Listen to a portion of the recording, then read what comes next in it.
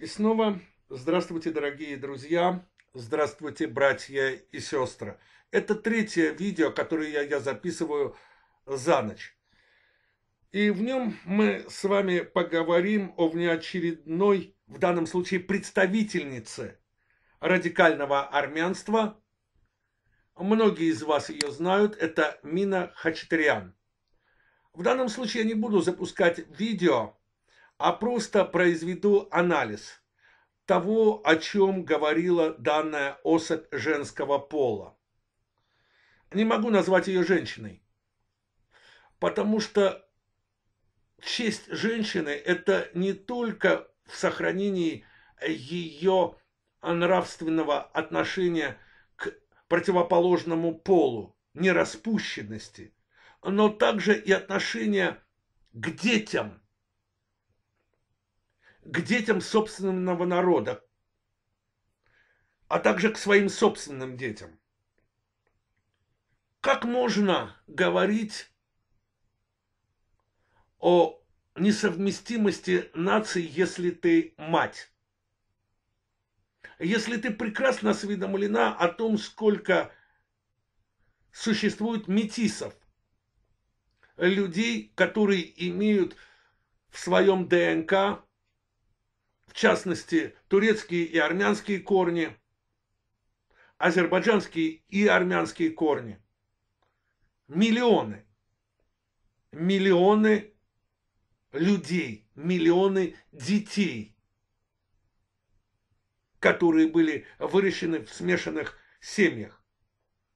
Как можно при этом продолжать говорить о несовместимости – то бишь, практически говоря о том, что вот эти смешанные дети, ну, мягко выражаясь, не люди. И это говорит женщина.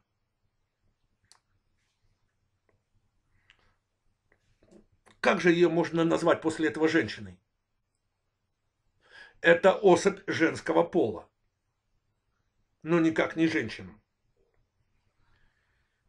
Продолжая слушать ее рассуждения, она стала ужасаться тому, что все президенты, так называемые экс-президенты Армении, рано или поздно начинали говорить о необходимости налаживания отношений с Турцией.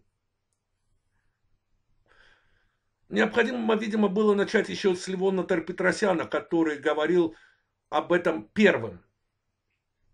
И собирался даже, если мне не изменять память в 89 году и в 90 году посещать Турцию.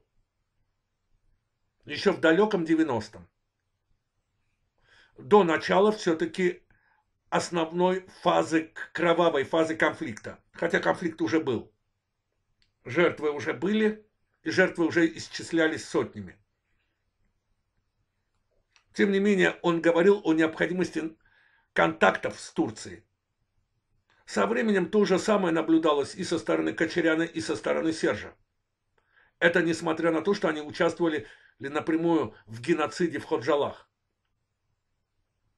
В убийстве женщин, детей и стариков.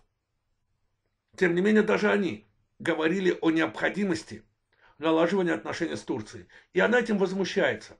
Ай-яй-яй, как это возможно? Ведь был совершен геноцид, массовое уничтожение по ее высказыванию армян.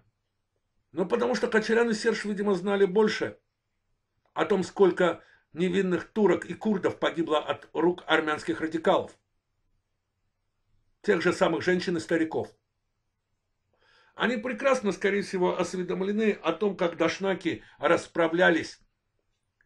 Та часть дашнакства, которая присягнула большевикам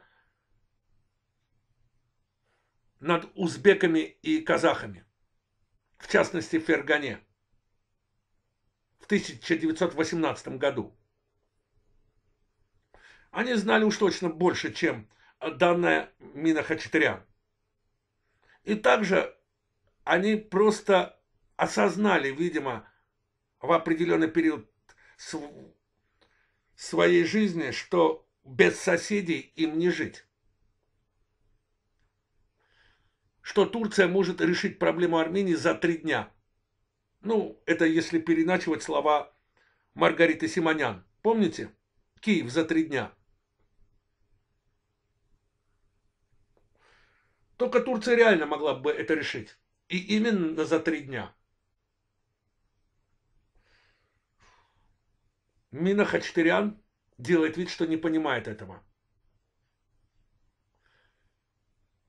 Тем самым, так же как и Владимир Погосян подставляет миллионы армян под удар, в том числе, что самое страшное, я, я об этом уже говорил, детей.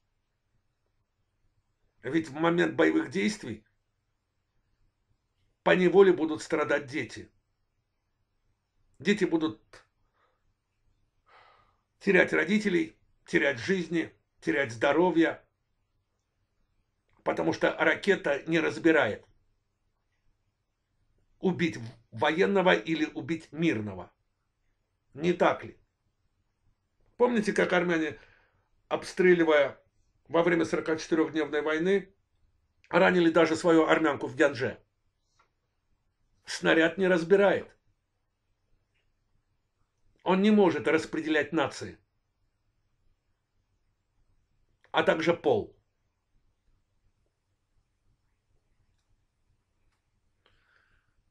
Мина Хачатурян, Владимир Погосян. Я еще раз хочу, чтобы вы, дорогие мои, в кавычках дорогие мои, армяне задумались, к чему эти ваши эксперты толкают ваш народ. Прежде всего, я обращаюсь сейчас к родителям, которые имеют маленьких детей. А вы хотите продолжения? Вы готовы аплодировать высказываниям данных недоличностей?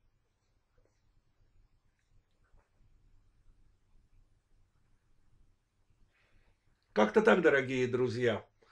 На этом я закончу данное видео. В следующем видео мы поговорим с вами о Затулине. И о некоторых других умниках, в кавычках, и умницах. Не пропустите. Все будет еще интересней. Ну, а я с вами пока временно прощаюсь и приступаю к записи следующего видео. Не забудьте поставить лайки либо дизлайки, поделиться ссылками в соцсетях, пригласить друзей и знакомых. Ну а мы продолжаем. Всем удачи. Удачи, дорогие друзья. Удачи.